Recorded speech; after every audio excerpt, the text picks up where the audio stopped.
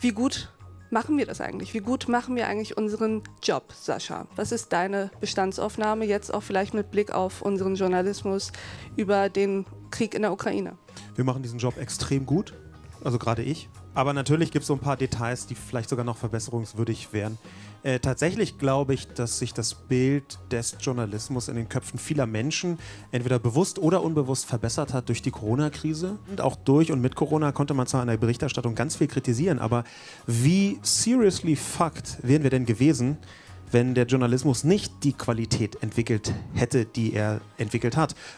Was nicht heißt, dass es nicht viel Kritik äh, gab und auch sinnvollerweise Kritik gab. Aber ich habe den Eindruck, dass die Corona-Krise so ein bisschen gezeigt hat, wie wertvoll Journalismus sein kann und wie viel er auch vielen Menschen bedeutet.